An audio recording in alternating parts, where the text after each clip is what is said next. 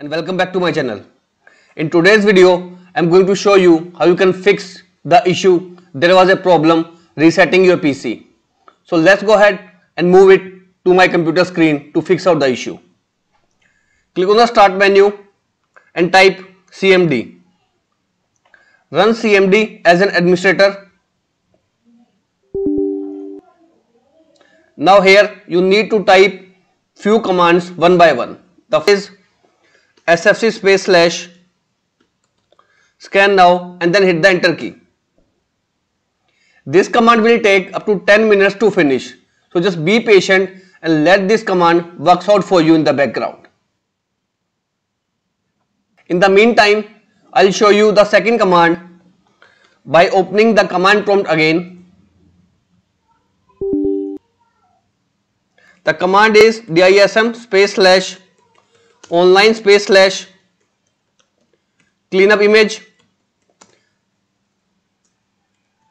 space slash restore health. And then hit the enter key. You need to paste these two commands one by one. I'll share the commands in the description of this particular video.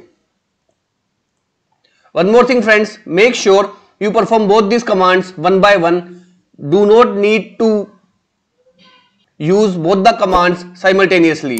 Make sure you perform one command at a time. And once both the commands are completed, go ahead and restart your system and then again try to check if the issue of resetting this PC is continuous or not. Now if these two commands unable to fix out your issue of there is a problem resetting your PC, let's proceed with the second step. For that again click on start menu and type CMD. Run CMD as an administrator.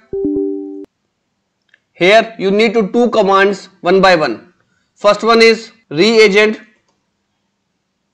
c space slash disable and then hit the enter key. Now type again re agent c space slash enable and then hit the enter key.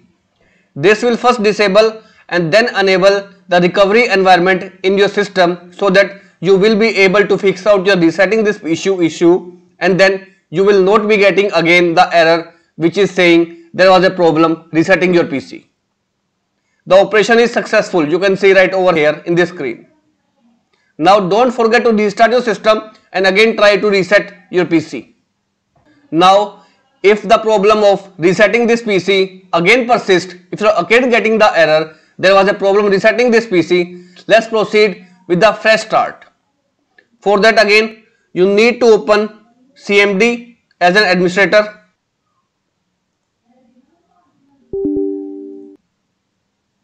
Here you need to type system reset.exe space slash clean PC and then hit the enter key. Now here are the options coming which is keep my files or remove everything. You need to choose the first option which is keep my files.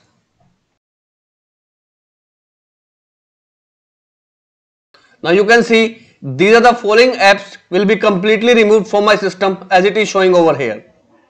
So make sure you do a backup of your system if you are proceeding with this particular step then click on the next button to continue and whenever you click on the reset option is it, it is clearly saying this will take a while and your PC will reset.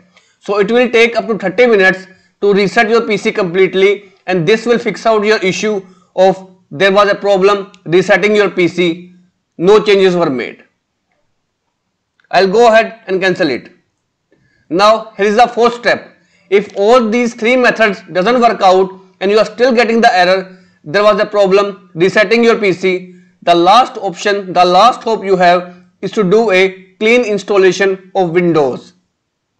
In order to do a clean install, you need to download Windows 11 or Windows 10 ISO directly from the Microsoft website. Open your web browser and here you need to type Windows 11 download from Microsoft and then hit the enter key.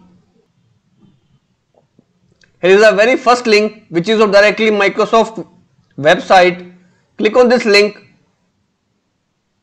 Here choose the type of version you have and then click on it. Simply scroll down and click on the option download now. There are three options assistant, installation media or ISO. I'll prefer to choose the ISO disk image.